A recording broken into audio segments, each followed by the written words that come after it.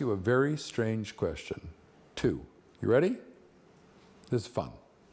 Please tell me, there's a whole room full of people.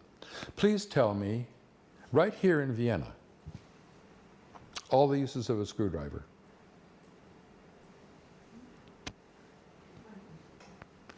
Tell me all the uses of a screwdriver.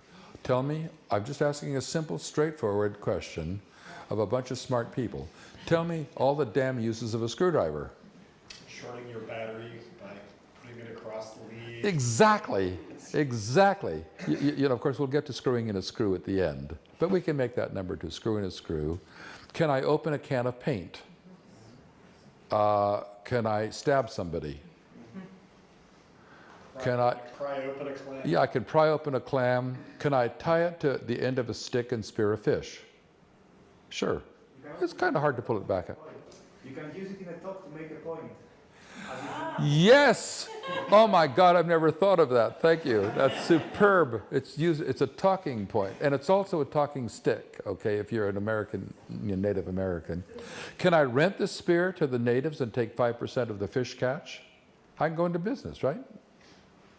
You can kill somebody with this. Yes, I can kill somebody with it, or I can scratch my back, right? Will you accept the following? And once you do, you're doomed. The number of uses of a screwdriver is not infinite, it is indefinite. Will you buy it? The number of uses is indefinite. There's a lot, but we can't, you got it? It's indefinite. Will you all accept it? Yeah? If, if you can describe the uses in words, then it's infinite. I think it's not, but I, I better, let's come back to it later. Right now, just accept indefinite, okay?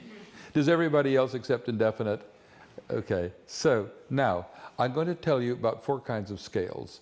The first kind of scale is a nominal scale. It's just the names of things. Bill, Joe, Fred, Giuseppe. The second kind of scale is x is greater than y and y is greater than z, so x is greater than z. It's transitive. The third kind of scale is a thermometer. It's an interval scale. Two degrees is as far from one degree as one degree is from zero degrees, but zero doesn't mean anything. And the last kind of scale is a ratio scale, like a meter stick. Two meters is twice one meters. What is it for the uses of a screwdriver? Are they ordered? Is one more than another? No. It's just a nominal scale. They're just different uses. Yes? Those two premises, that the number of uses is indefinite and that it's just a nominal scale mean that no algorithm, an algorithm is a rule following procedure, no algorithm, no Turing machine, including Word, no Turing machine, no algorithm at all, can calculate all the uses of a screwdriver, nor calculate the next use of a screwdriver. It's not algorithmic. This is a big conclusion. Because can you find a new use for a screwdriver? Of course you can. Yes? We do it all the time. And if you don't believe it, we've all seen James Bond from many years ago. Could James Bond find a new use for a screwdriver when he needed to? Of course he could. Of course somebody wrote it, but of course he could.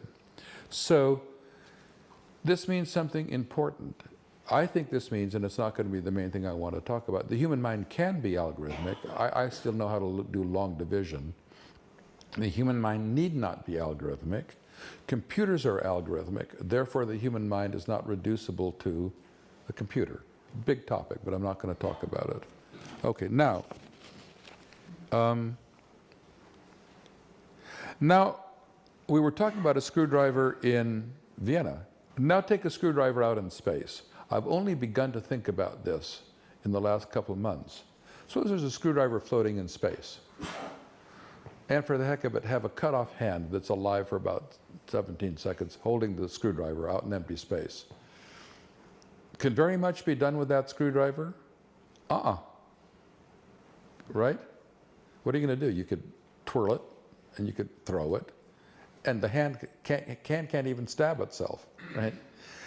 There's something very deep going on that I'm very puzzled about, and it's going to get more and more puzzling, and it has to do with why there's hearts in the universe you can't do very much with the screwdriver if the context of other things and processes around it is tiny or nothing.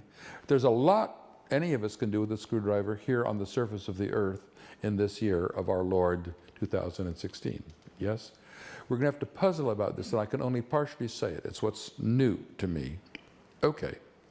Um, now, what I want to come back, come back to the screwdriver here in, in, in, in Vienna. Um, I want to talk about adjacent possibles. It's the new use of a screwdriver. Okay? Um, okay, now I want to talk about the evolution of a bacterium. And I hope to begin to persuade you that there is no law whatsoever that entails the becoming of the biosphere. No law, beyond Pythagoras. Here's all that has to happen in evolution. I've got some bacterium, say in a new environment. I know how to say this because I've said it lots of times. All that has to happen is that some molecular screwdriver in the bacterium find a use that increases the fitness of the bacterium. And if there's heritable variation for it, that new use will come to exist. Therefore, a new function will come to exist in the biosphere. A new function will come to exist in the biosphere, right? Selection is not happening at the level of the molecular screwdriver, it's happening at the level of the Kantian whole, the organism. The whole organism is selected and it comes to exist. So a new function just came to exist in the universe. Yes?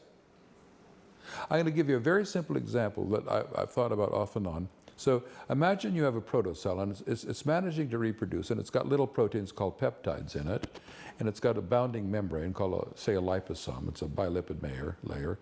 And about a year ago it dawned on me, suppose that some peptide kind of peeked through the membrane. Now I have to go back. Here's this, here's this protocell and it's in a, it's in a nutrient-rich medium and it's floating free in the flowing nutrient medium, okay? Suppose that what happens is that a peptide occasionally peeks through the membrane and comes out on the outside, partially on the outside of the membrane, and the little protocell attaches to a tiny stone. If it attaches to the tiny stone, it's not flowing in the nutrient stream, correct? If it's not flowing, it's it's exposed to more nutrient than if it were flowing. What just happened is, now if that's heritably vari uh, heritable variation, what will evolve, one can hope, is a protocell that can attach to a rock and hang on to it and feed in the flowing nutrient stream. It's just become in English a sessile filter feeder. Filter feeding has come to exist in the universe. It just did. We just saw it. I'm going to come back to this because it's even more puzzling than that, but there it is. The little protein found a use that enhanced the fitness of the protocell. That is the arrival of the fitter, something that Darwin never solved. This is the arrival of the fitter. But it's a new use. Could we have said it beforehand? Typically, it's a new use of the screwdriver, and we could not have said it beforehand. This is going to mean in due course that, because I'm going to get to Darwinian pre-adaptations, that, that, that, that there's going to be no law that's going to entail the becoming of the biosphere. But